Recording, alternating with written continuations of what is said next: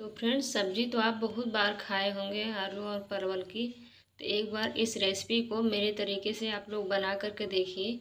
ज़रूर पसंद आएगा, बहुत ही यमी लगती है। तो चलिए आइए देखते हैं इसे बनाना कैसे तो यहाँ पर मैंने आठ परवल ले लिया है और इसको हम इसमें छोटा छोटा सा लेयर होता है छिलके का। उसके बाद जो है इसको हम पहले छिलकों को उतार लेंगे। इससे क्या होता है, परवल हमारी जल्दी से जब इसको फ्राई करेंगे तो सॉफ्ट हो जाती है। तो इस परवल को ऐसे ही पूरा हम थोड़ा थोड़ा करके छिलका निकलता है। बहुत ज़्यादा मोटा नहीं निकलता है बट इसको छील लेते हैं तो बहुत अच्छा रहता है। तो इस छिलके को हम ऐसे उतार लेंगे चाकू की मदद से।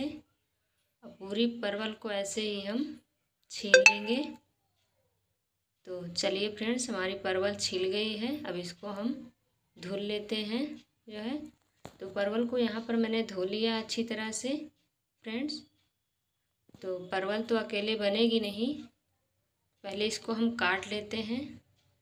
तो जैसे परवल हमेशा काटते हैं, उस तरीके से नहीं काटना है। हमें थोड़ा गोले शेप में काटना ताकि थोड़ा सा डिफरेंट लगे। जब डिफरेंट रेसिपी बनानी है तो डिफरेंट तरीके से भी इसको हम काटेंगे भी।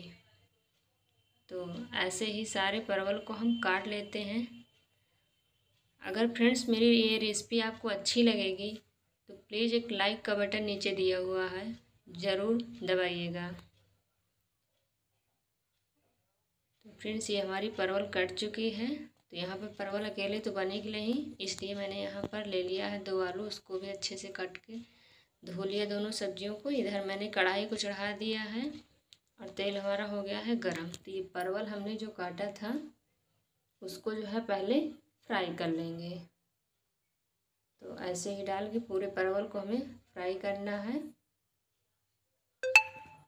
तो चलिए इसको हम लो टू मीडियम फ्लेम पर जो है ऐसे अलट पलट के दो तीन मिनट तक फ्राई करना है। बहुत ज़्यादा फ्रेंड्स फ्राई नहीं करना है। थोड़ा सा इसका कलर चेंज हो जाए हल्का सा सिकुड़ा ना जाती। जैसे अब इस फॉर्म में देखिए, हमारी परवल जो है अच्छे से फ्राई हो चुकी है।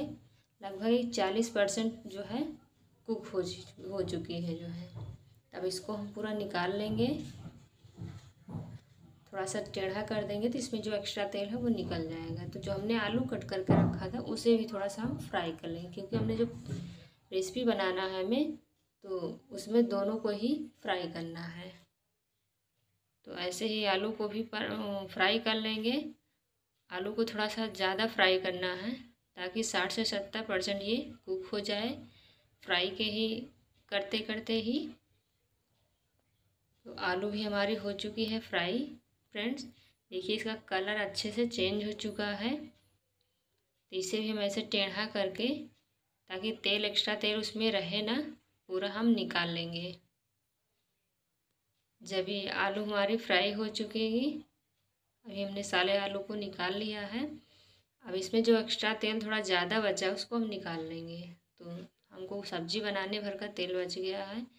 तो आधा चम्मच इसमें हमने डाला है जीरा, आधा चम्मच मेथी और ये अदरक, लहसुन, एक अद, एक इंच अदरक और दो तीन कली लहसुन, एक प्याज को हमने बारीक बारीक चॉप कर लिया है। तीन जो है मिर्च भी ले लिए हैं। क्योंकि इस रेसिपी में क्योंकि फ्रेंड्स, यहाँ पर हम जो रेसिपी बना रहे हैं, उसमें बारीक कटा हुआ प्याज, लहसुन और मिर्च रहेगा, अदरक, तभी ठीक रहेगा। थोड़ा जल्दी से सॉफ्ट हो जाएँगे और यहीं पर हमने आधा चम्मच लाल मिर्च पाउडर, आधा चम्मच हल्दी और आधा चम्मच राजेश मसाला डाल दिए हैं।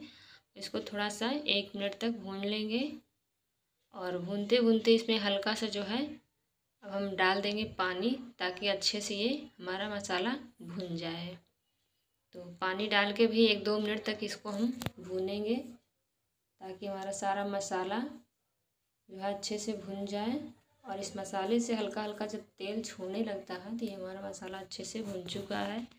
मिक्स हो गया है लहसुन और अदरक की पेस्ट में और इसको हम जो परवल को फ्राई किए हैं, उसे भी इसी फॉर्म में डाल देंगे। आलू और परवल दोनों दोनों को ही मिक्स करते हुए एक दो मिनट तक मिला लेंगे सारे मसाले और सब्ज़ी को ताकि अच्छे से इसकी कोटिंग हो सके। तो देखिए फ्रेंड्स कितने अच्छे से मसाला और सब्ज़ी हमारी मिल चुकी है। कितनी ही सुंदर देखने में लग रही है, अभी ही बहुत ही टेस्टी लगती है ये रेसिपी आप भी फ्रेंड्स बना कर देखिएगा, ज़रूर पसंद आएगा। मैं तो ये कहती हूँ, जहाँ आप एक रोटी खाते हैं, दो रोटी ज़रूर खाएँगे फ्रेंड्स ये सब्ज़ी है ही ऐसी। तो चलिए हमने पानी डाल दिया अपने अनुसार, स्वाद अनुसार नमक डाल देंगे। पानी फ्रेंड्स अपने अनुसार डालना है। बहुत पतला रखना है तो थोड़ा ज़्यादा रखे ज़्यादा पानी डालेंगे, नहीं तो हल्का डालेंगे। तो फ्रेंड्स ये हमारी रेसिपी बनके तैयार है। तो खाइए, एंजॉय करिए और चैनल को सब्सक्राइब कीजिए। Thank you friend.